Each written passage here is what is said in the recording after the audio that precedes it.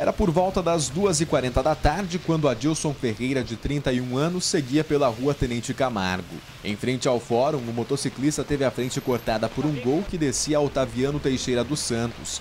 E sem tempo para desviar, a CG Titã com placas de Barigui, em São Paulo, foi de encontro à lateral do carro emplacado em dois vizinhos. Adilson teve ferimentos leves em decorrência do impacto e foi atendido ainda no local pelo Corpo de Bombeiros. Após os primeiros socorros, os militares o encaminharam à unidade de pronto atendimento. Já Valmor Cesário Borba saiu ileso.